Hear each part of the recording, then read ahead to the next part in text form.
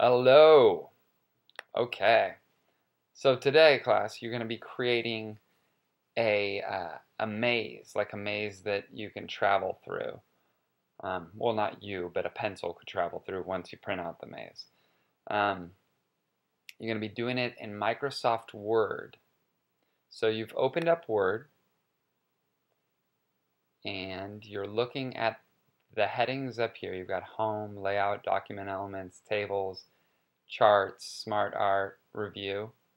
First, you're going to go to Layout because right now our uh, the orientation of our page is up and down, but we want to make it so it's it's sideways, it's longer, um, more uh, less vertical, more horizontal. So I go up to layout, I click on orientation and select landscape.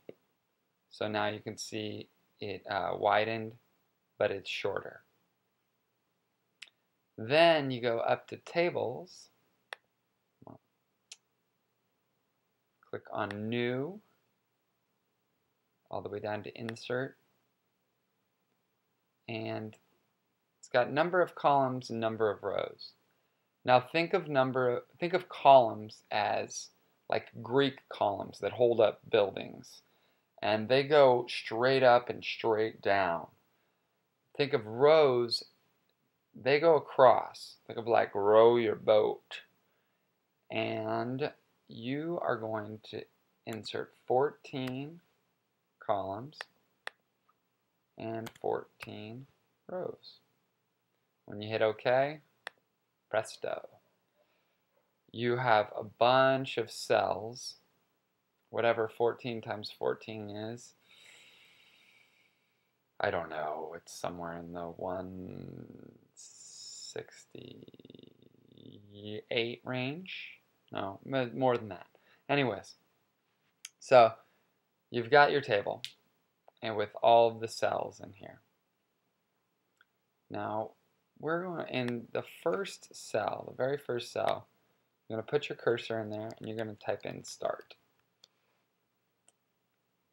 Then, to begin erasing, because you're going to have to erase some lines to create your maze. So I'm going to start by erasing this first line right beneath start. Boom. Then I'll erase this one right here and this one right here. And so, and then I want to turn, so I'm going to click right here. Now the one issue is that as soon as I hit that one, this whole vertical line erased. We don't want that whole thing gone. We just want this little portion right here gone. So the only way to fix that that I've seen is to go back up to a, click erase,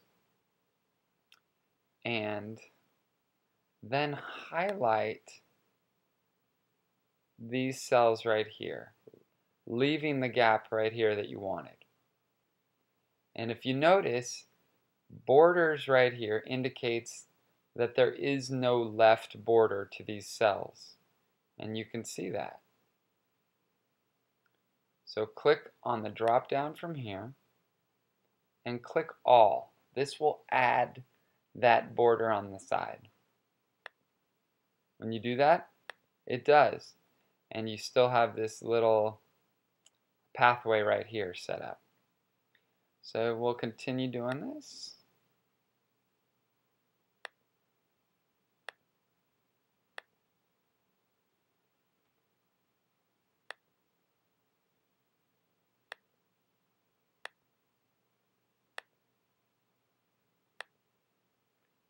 Until,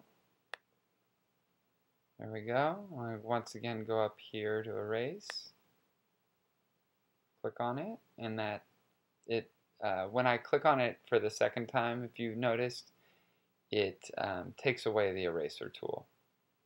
So now I'm going to go back up here, click and hold down and highlight these cells. Go back up here, click all, And so now if you can see I've got a little pathway going like this that leads like this.